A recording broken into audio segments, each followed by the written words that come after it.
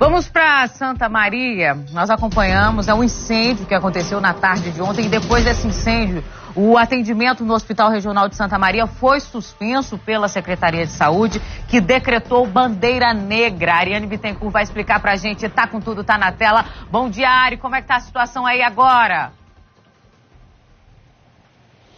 Nicole, muito bom dia a você e a todo mundo que está nos assistindo nesta sexta-feira, viu? Pois é, esse incêndio aconteceu, como você bem disse, ontem à tarde. O fogo começou no subsolo aqui do Hospital Regional de Santa Maria, que inclusive é o segundo maior do DF, e desde então aí começou toda uma grande confusão. Ainda não se sabe exatamente quais as causas desse incêndio. Fato é que os brigadistas do hospital foram os primeiros a presenciar a fumaça e as chamas já começaram o combate ao fogo e também acionaram o Corpo de Bombeiros que chegou aqui para terminar esse combate e também fazer o rescaldo aqui da área do hospital. Quando tudo aconteceu, Nicole, os pacientes do centro cirúrgico e também do pronto-socorro precisaram ser imediatamente realocados e muita gente foi inclusive colocada para o lado de fora do hospital por precaução, inclusive pacientes aí com oxigênio que precisaram receber é, balões portáteis de oxigênio para que pudessem ficar do lado de fora até que se entendesse a dimensão desse fogo. A princípio, as chamas não passaram do subsolo, foi mais o susto mesmo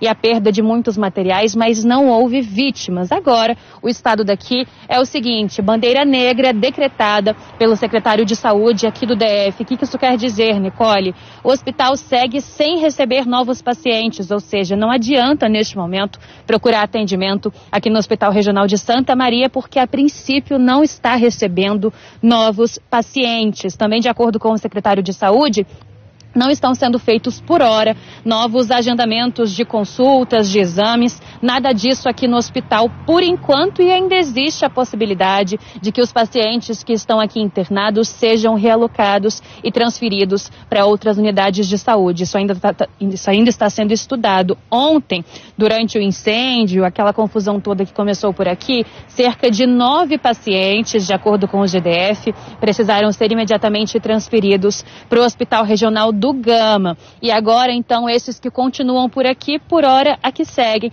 Mas o pessoal ainda está avaliando os danos, né, os impactos dessas chamas. E pode ser que sim, ao longo do dia, outros pacientes sejam transferidos para outras unidades de saúde. O movimento aqui, Nicole, neste momento, é tranquilo. Pelo lado de fora, a gente não tem autorização para entrar no hospital, até por conta de todo o problema que foi causado ontem, né? Do lado de fora a gente vê um movimento tranquilo, os servidores, os funcionários chegando normalmente. Inclusive tem um fluxo bastante grande de carros, de pessoas ali na frente do hospital. A gente não vê também marcas das chamas nem nada do tipo, mas olhando as imagens que ontem foram feitas, a gente consegue dimensionar o susto que os pacientes e também os médicos, os profissionais da saúde levaram ontem quando essas chamas começaram por volta das 4 horas da tarde. Como eu disse, esse hospital aqui, Nicole, tem dá um grande reforço para nossa rede de saúde. Ao todo são 384 leitos, sendo 60 de UTI. A gente segue por aqui acompanhando, daqui a pouquinho, inclusive no DF no ar, a gente conversa com um dos responsáveis pelo hospital para trazer mais detalhes sobre como que fica a situação daqui de hoje em diante. Eu volto com você. É, Ari, obrigada pelas informações. Agora já foi, né, gente? Infelizmente teve fogo, nenhum ferido, mas é um alerta. O que, que aconteceu? Qual foi a origem desse incêndio? Porque tem que saber até para evitar novos incêndios e tragédias ali no Hospital de Santa Maria. Eu falo para vocês, não é o mais velho não, viu? Não é o que está com instalações mais antigas. Nós temos hospitais aí, como por exemplo o de Taguatinga, que estão muito piores e que podem acontecer é, situações parecidas com essa. Então, vamos continuar acompanhando.